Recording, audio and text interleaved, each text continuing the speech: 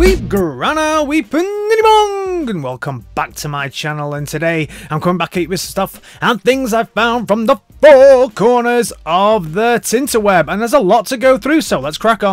First off, we make a stop in Ramen Toy. Yes, Ramen Toy still carrying on with the 80s Commando line, but this time we're seeing the full painted up version here of the evil dude hacker from the Centurions. And this looks incredible so much detail when you split this dude apart. Really like the blue on there, that kind of sky blue. Looks like he's got a couple of looks as well when it comes to the heat. The heat, you can put a helmet on the heat. And then as well, the head looks like it has a kind of orange looking blast shield as well that goes in there. All in all, this looks like a phenomenal figure and a great addition to this line. Really doing well. If you love your Centurions, check out Ramen Toy because they are making the most superior Power Extreme Centurions available. And now the news. Don't touch that dial. Kicking off today with ROS, otherwise known as Ratchet's Operating Studio. I never heard of these people before, um, but they're gonna give your Fort Max a bit of a lift. So you can see the before and the after shot. These are all of the different little parts that come with it. Bit of a 80s shoulder pad extension and also some leg extensions as well. Make him look a bit beefier and also a little bit taller as well. So cool. It does need a little bit more height probably. Longer legs maybe and also some some stuff going on in the crotch to make him more toon accurate. He looks alright. He looks pretty nice, doesn't he? He looked alright in the first place though. So, yeah, and that's how he looks in his alt mode with the extensions. Nice. Nice that they all work in the alt mode as well because, you know, it's a little bit of a, a nightmare when you have to remove everything just to transform the bugger.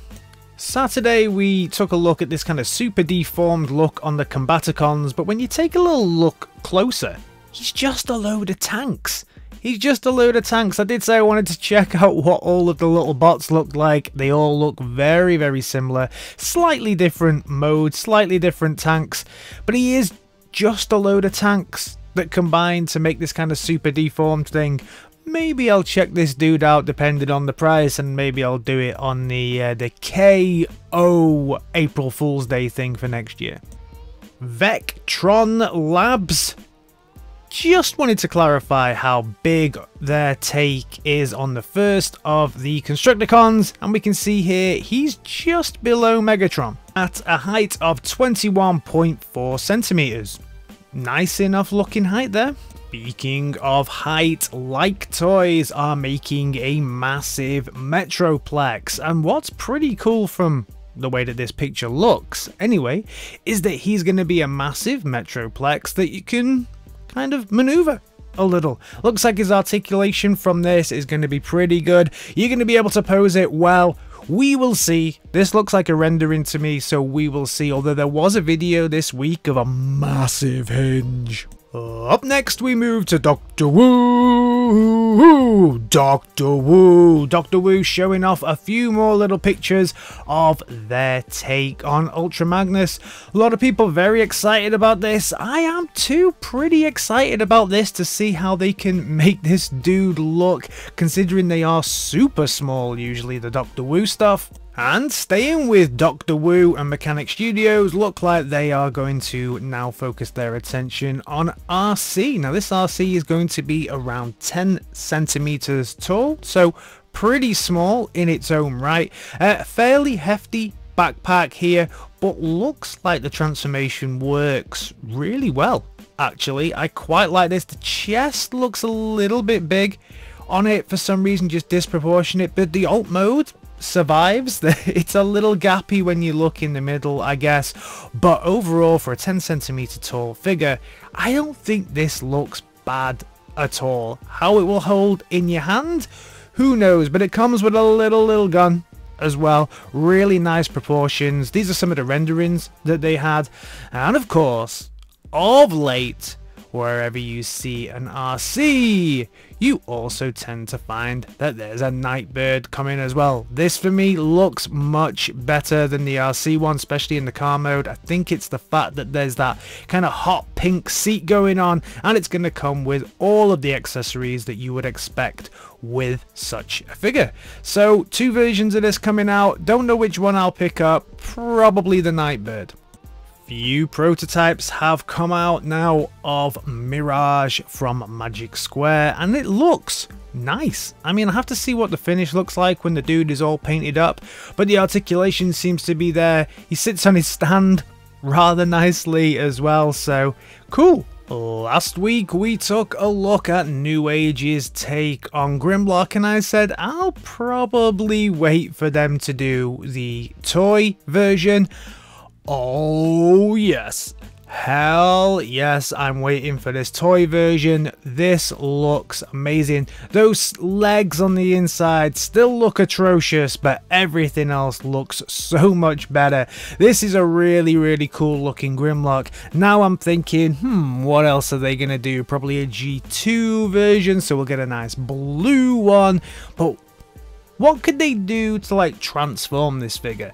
Could they turn it into a Beast Wars Megatron? Maybe?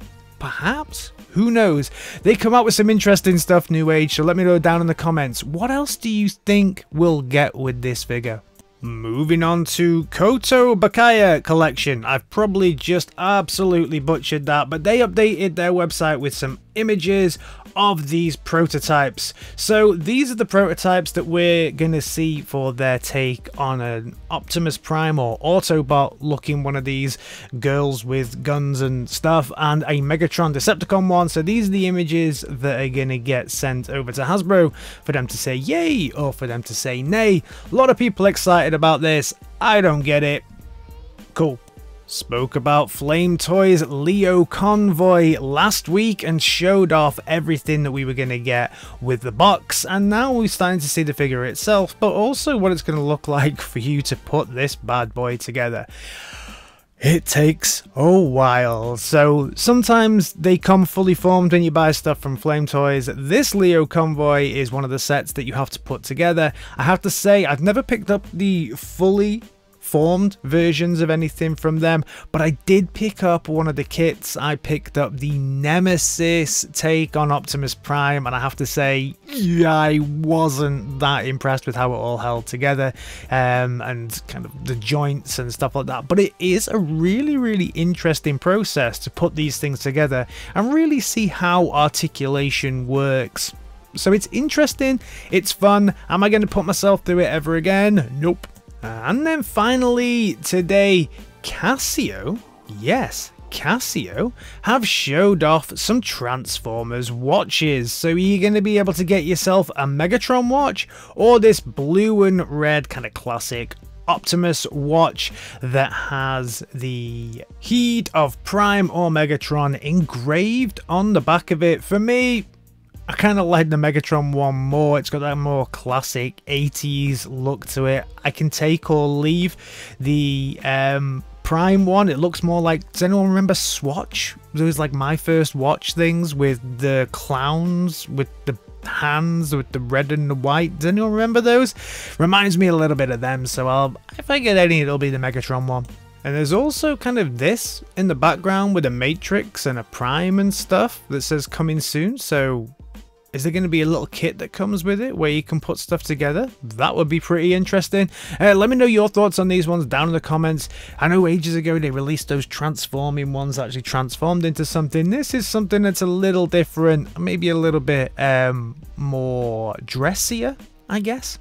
So that is everything from me on this Transformers Tuesday. As always, let me know your thoughts on everything down in the comments. We are trying to get to 5k on this channel. We will get there very, very soon. Um, I think we're about 50 away now. So if you can support the channel, let me know. Once we get there, we will definitely have a live stream, have a bit of fun, drink some beers, and celebrate our successes. And until then, I'll see you in my next video. Alright, team, in a bit. Peace!